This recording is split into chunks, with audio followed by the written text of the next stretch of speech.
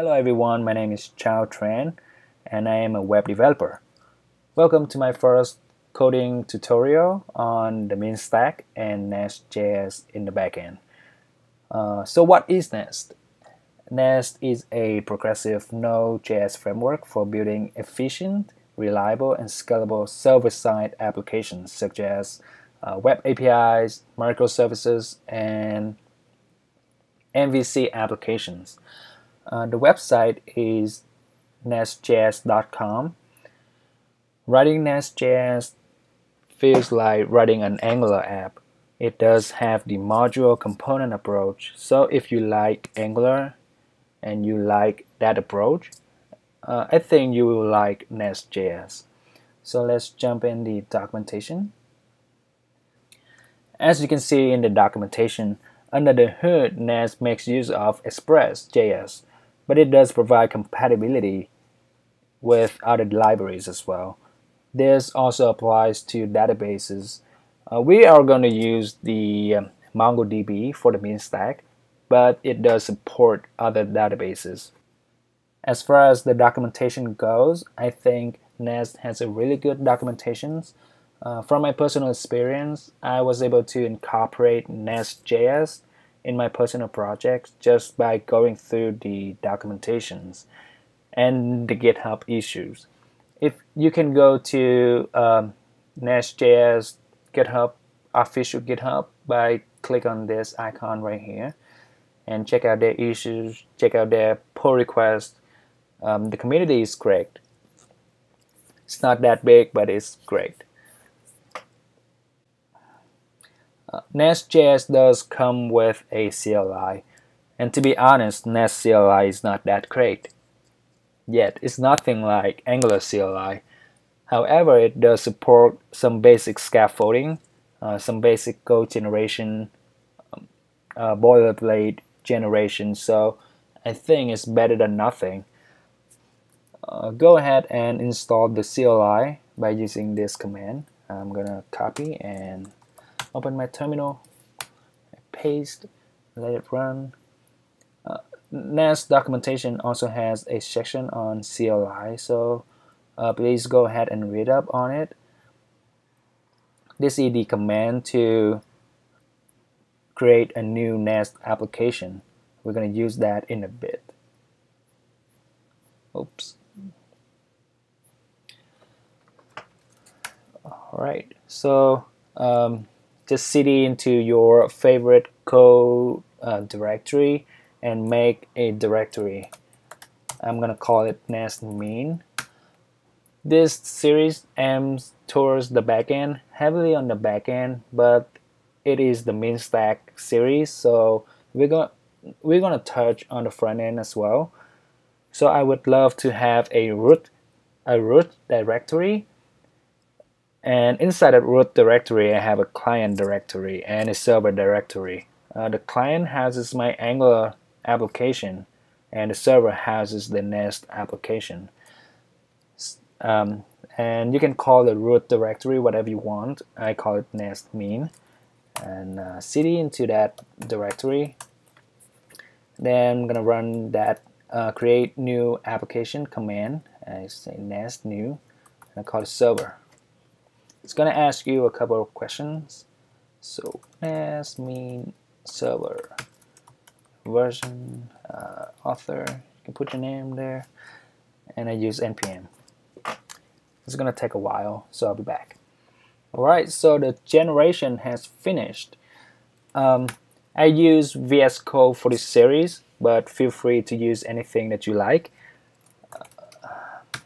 so I'm open my uh, directory with VS Code. Before I do anything though, I'm gonna change my font size. Oh, 14 is good. I think 14 is okay. Um, now let's look at the server that Nest has generated for me. And if you haven't noticed already, Nest uses TypeScript. You can build Nest application with um, JavaScript but by default it is using TypeScript. So it has a tsconfig.json and a tslint.json. You can put any rules you like in the TSLint um, but for the TS config I don't think that you should have to touch it if at all uh, by looking at the source uh, the source folder is where all your code is going to be and it looks extremely familiar with an Angular application it has a module it has a service and it has a controller instead of a component um, also, it has dependency injections right here. It has a main.ts to bootstrap your app module. It also has a main.hmr.ts. Uh, HMR stands for Hot Module Reload. Uh, I'm not going to use uh, Hot Module Reload, which uses Webpack in this series. Uh, there's a Hot Module Reload on on the website uh, on Nest.js website in the documentation. So uh, feel free to read up on that if you want to use hot module reload. And but for the sake of it, I'm gonna copy uh, this line, these lines over to the main.ts. I'm gonna put it there, and I'm gonna copy this line over, and I'm gonna delete the uh, HMR.ts file. and also I'm gonna change it back to TS and again I'm not gonna use Webpack but I'm gonna change it. And uh, for anyone if you would like to use Webpack uh, I just want to mention this that Nest.js does encourage and utilize quite heavily the separation of concern principle um, so as you can see in the controller, in the app controller, it injects app service and it's going to use the uh, uh, the return value of the root method on the app service as the value for this root. So the logic has been abstracted to the app service instead of putting everything on the app controller. And just another FYI, you can build your normal Node.js application with the same approach with just Node.js. But Nest brings uh, TypeScript and an Angular-ish approach to the table. So I like that because I am uh, a fan of Angular.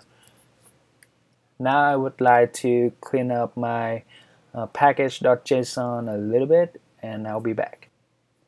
And I'm back all I did was uh, I removed uh, all the carets from my dependencies. I also specified the latest versions for all of the dependencies. I removed the Fastify formbody package because we're not going to use Fastify. And I rerun npm install. Now to start our backend, open your terminal and cd into the server directory or whatever the directory your uh, Nest application is in. You can do npm start, but Nest.js CLI does generate a script uh, start dev and it uses nodemon. It also has a nodemon.json, so uh, that's what we're going to use. So npm run start dev. So JSON will execute this command right here which looks exactly like the start script command um, and the default port is 3000 so if you go to your uh, browser and go to localhost 3000 you will get hello world the reason why you see the string hello world in the browser is because this class app controller runs. Um, this class has been decorated with the controller decorator. Uh, as you can see, this controller takes in a string uh, to specify the path. So this empty argument is equivalent to this empty string. So the whole thing is localhost 3000 slash. So if I put in uh, root, root this will become slash root and if you haven't guessed already now if I go to localhost 3000 I, and I hit refresh I didn't get anything because uh, the application doesn't know what uh, localhost 3000 slash is, but it does know uh, localhost 3000 root. So you get hello world. And you can check um, in the logs as well. The previous doesn't have the root, but the current one has the root. Same thing with the uh, with this method, which is actually would actually returns the string hello world and it has been decorated with the get decorator same thing it would take in a string as a path so I can put in hello. Um, the whole thing is basically routed at get uh, and then hello. So if you hit 3000 hello uh, I mean root hello this method will be called. So I'm gonna save and you can check the logs that uh, the get operation operation has been mapped to this route hello and if I refresh I doesn't get I don't get anything.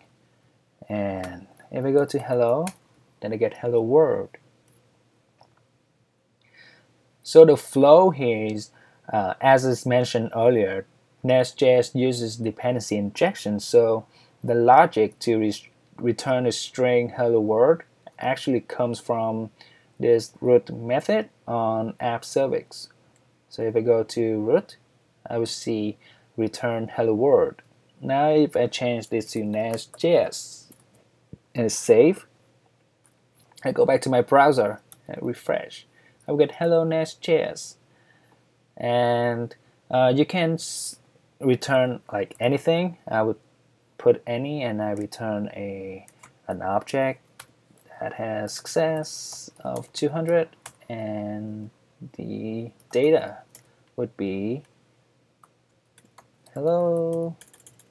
Hello nest js oops. And I also have to change if I save this I also have to change this one to any. Save. And now if I go to the browser and hit refresh, now I get the JSON. If, and if you are familiar with Angular, you would probably uh, figure out how the whole thing works. So you have the app module, uh, this class, just a class, and it has been decorated with a module decorator, and it has an imports array uh, a controllers array that takes in all the controllers. This equivalent to the declaration arrays uh, in Angular, and then providers that takes in all the injectables. And our app service does have injectable. So injectable means that you can actually inject other injectables or uh, other services into the uh, constructor, other providers into the constructor. Then in the main.ts, you're going to take that app module and you, you put in as an argument for the create method from Nest Factory. This will return an iNest application and it's just a wrapper around the Express application. So this app you can just use use it like app.use just like Express. And finally you listen uh, you call the listen method and pass in the port number. And everything will be bootstrap when you call bootstrap so that's how the um, Nest application works so it is okay to run and develop Nest application using nodemon but I would like to actually run and debug Nest application using VS Code so I'm going to show you how to set up a run configuration to uh, to run and debug your Nest application using uh, VS Code. Go ahead and go to your debug window and add a configuration. We're going to use the Node.js launch v npm. Uh, I'm going to change this to Nest.js. Uh, you can use whatever you want to. Uh, the script is going to be start dev it is the same script that we use to run our Nest application from the terminal. and the port is uh, 5000 uh, you can use whatever port you would like this port number uh, specifies the port to attach the debugger to. So use anything but it has to be different than the port you use to uh, actually run the app on. And one important thing is the current working directory. Right now the launch.json stays on the root directory so the workspace folder is actually uh, the root directory. But we need to access to the script the start dev script from package.json inside of the server directory. So we have to add slash server and we should be good to go. Um, inside nodemon.json um, remember to add dash dash inspect equals 5000 so so the inspect flag means run node.js with the debugger. And this number is the port number that you specify in your launch.json so remember to add this flag or else it won't work. Now if you close this and if I go to app controller I'm gonna add a breakpoint here. And now just run from the debug window. The app will run but it's disconnect because oh I forgot to stop this one. So again. Alright so now our app is running. Go ahead and go back to your browser and refresh. You will be taken back to the uh, the breakpoint. So now you can step over, uh, step into like a any debugger. I would like to step into this breakpoint, this method, so it takes me to the app service.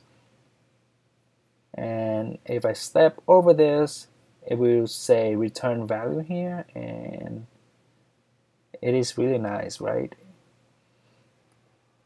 Right. So now you can run and debug your Nest application from VS Code. So really nice. This concludes my part one on this series. Uh, in the next video, we're to start implementing a share module. Uh, the concept is the same as uh, share module in Angular where you um, imports and exports all the providers that you would like to use throughout your application. Uh, for example, uh, the configuration service. We're going to use a configuration service to retrieve the application variables just like um, a MongoDB connection string or a JSON Web Token secret key, um, etc. Numbers numbers of uh, variables that you can use, uh, you want to use throughout your applications. And also I want to implement a mapper. If you worked with C Sharp, you would probably heard or know of AutoMapper. Um, so we're going to implement that AutoMapper in our application using the package AutoMapper dot AutoMapper-ts. So bye bye and see you in the next video.